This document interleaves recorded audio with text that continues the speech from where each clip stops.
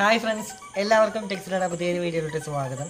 ഇന്നത്തെ നമ്മുടെ വീഡിയോ നമ്മുടെ വീട്ടിലെ ടൈൽസിന്റെ പൊക്കത്ത് പേനയുടെ മാഷി വീണ് കഴിഞ്ഞാൽ എങ്ങനെയാണ് ആ പേനയുടെ മാഷി ടൈൽസിന്റെ പൊക്കത്ത് നിന്ന് വളരെ എളുപ്പം കളയുന്നതെന്നാണ് ഈ വീഡിയോയിലൂടെ നമ്മൾ നോക്കാൻ പോകുന്നത്.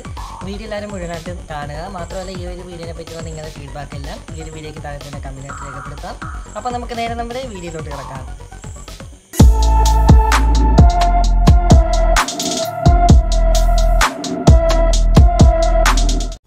ആദ്യം നമുക്കൊരു പേനയുടെ റീഫിലെടുത്തിട്ട് അതിനെ നിബൊന്ന് ഊരി മാറ്റിയിട്ട് ടൈൽസിന്റെ പൊക്കത്ത് അത്യാവശ്യം നല്ല രീതിക്ക് അതിനകത്തുനിന്ന് വരുന്ന മഷി തേച്ച് കൊടുക്കാം.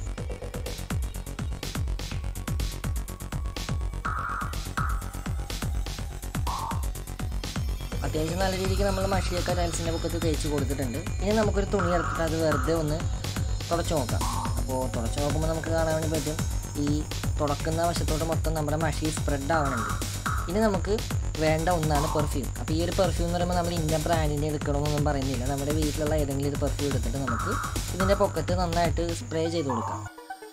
ഇങ്ങനെ സ്പ്രേ ചെയ്യുമ്പോൾ തന്നെ നമുക്ക് നന്നായിട്ട് കാണാൻ വേണ്ടി പറ്റുന്നുണ്ട്. മഷി നന്നായിട്ട് ആ ടൈൽസിന്റെ പൊക്കത്ത് നിന്ന് ഇങ്ങനെ വിട്ടിട്ട് ഇങ്ങനെ ലൂസായിട്ട് വെള്ളം പോലെ ഇങ്ങനെ ഒഴുകി വരുന്നുണ്ട്. ഇനി നമുക്കൊരു പഴയ തുണി എടുത്തിട്ട് ഇത് നന്നായിട്ട് തൂത്തെടുക്കാം. കുറച്ചുകൂടി മഷി അവിടെ നിന്ന് പോകാനുണ്ട് അപ്പോൾ നമുക്ക് കുറച്ചുകൂടി പെർഫ്യൂം അടിച്ചിട്ട് നന്നായിട്ട് തൂത്ത് കളയാം. ഇങ്ങനെയാണ് വളരെ എളുപ്പം നമ്മുടെ പെൻസിലിന്റെ പൊക്കത്ത് പേനയുടെ മഷി വീണ് കഴിഞ്ഞാൽ വളരെ എളുപ്പം അത് കളയുന്നത്.